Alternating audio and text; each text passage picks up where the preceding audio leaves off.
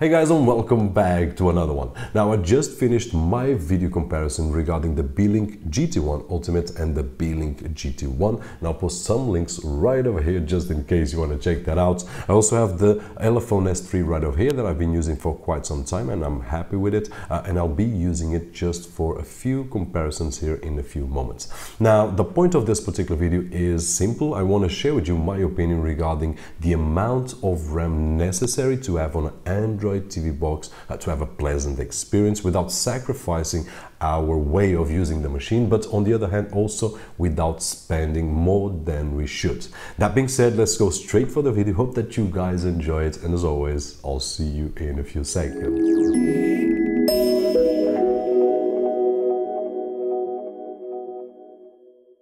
And we are back. Now, before we move on to the topic itself, let me just share with you that in the past I've viewed some media players since I can recall, and some of them, or at least the first one that I can recall, it had a closed uh, software and firmware from one of the brands that developed. And then after that, I had a Linux box uh, from Xtreamer, uh, the first generation Xtreamer uh, Sidewinder, uh, which had 256 megs of RAM. And then I had another uh, Linux box with 512. And the first Android TV box that I had with one gigabyte of RAM was back in 2012, 2013, the Minix X5 Mini, which was a great machine back then, was a crazy transition from Linux to Android, which is what we are using uh, these days and really great machines. Now, this to mention that back then one gigabyte of RAM was not that much, but it was more than enough for what we did with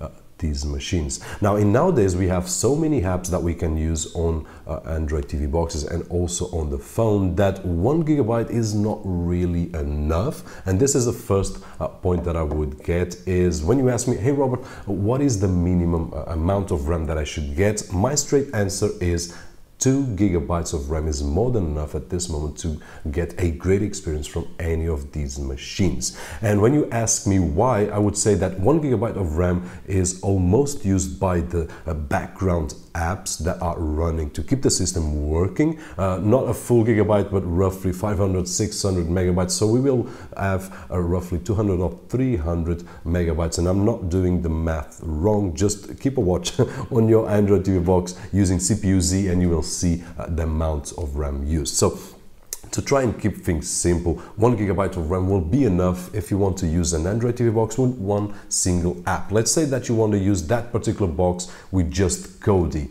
uh, or just Netflix or just YouTube and that is it. You don't want to multitask. And when I mean multitask in this kind of machine is uh, use several apps and then swipe from one to another, change from Kodi to Netflix and from Netflix, uh, Netflix sorry, to uh, YouTube and so on and so forth. With one gigabyte of RAM, you will be limited. You will feel the machine slow. So the two gigabytes of RAM are the ideal to have uh, at least five or six or seven apps open on the background without noticing any lag whatsoever. So uh, at this moment of the video, uh, you can see that the two gigabytes of RAM is what I do suggest at this moment, and especially because we have reached the moment in terms of apps that are not taking advantage uh, of the more uh, processing power and the more uh, RAM that we have on our systems. Now I do have the phone here just to show you that or to try and share with you my opinion and some facts, which is the phone. I can see why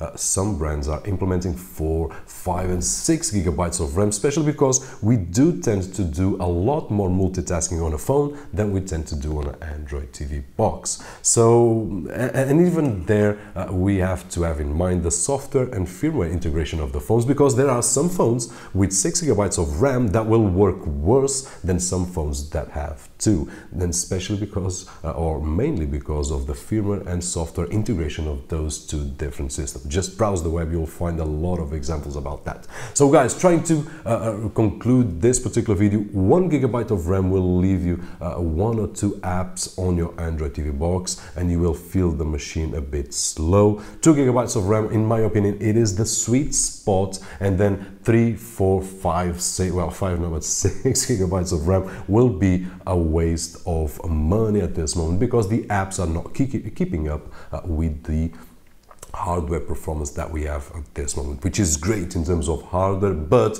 if you ask my opinion, do you really need an S912 uh, from Amlogic or 3399 from Rockchip to run uh, the apps that we do run? Mm, not really, because we can't take advantage. If you uh, take a look at the S905 and compare it with the S912, you will see that the both machines they have different SOCs, one superior to the other, but in terms of raw performance, they will be the same.